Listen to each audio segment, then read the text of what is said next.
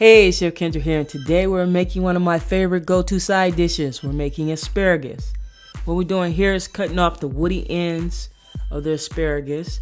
It's tough, you don't want to eat that. So we're going to uh, smash and peel and mince a clove of garlic.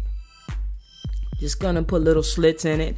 Then we're gonna cut it down the middle, and then we're gonna slice it real thin, and then we're going to mince it. Simple as that.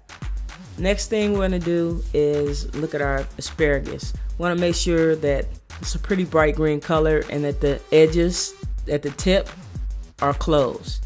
All right, now we're gonna pour some water into our pan. Let's bring this to a boil and we're gonna boil the asparagus for two to three minutes. So we wanna make sure that we salt our water. We always wanna make sure we flavor our food. So in goes the asparagus. We're gonna give that a little shake around and then we're gonna take it out and we're gonna shock it in ice water.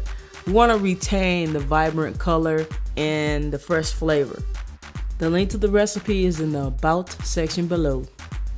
Alright guys, now that we have our asparagus chilling in its ice bath, we're gonna drop some olive oil down in our pan and stir that up a little bit. Then we're gonna add some red pepper flakes and then we're gonna add that garlic that we minced up earlier. Okay, we're gonna add the asparagus back to the pan, sprinkle on a little salt and pepper, and saute it for a couple of minutes. And that's about it. Please share my videos, and if you haven't already, subscribe. I'll see you on Wednesday. Chef Kendra is out. Peace.